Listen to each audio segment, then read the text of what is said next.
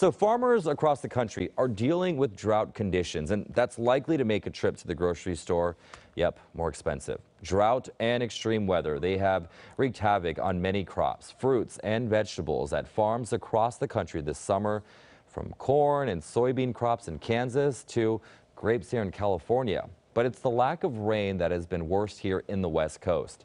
An American Farm Bureau survey of western states finds that average crop production could be down 38%. So that means the low supply will likely contribute to higher food prices.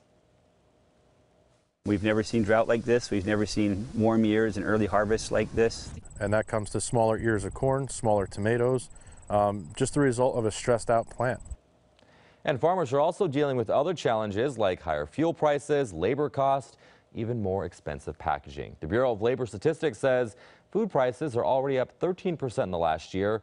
That is the largest annual increase in more than four decades.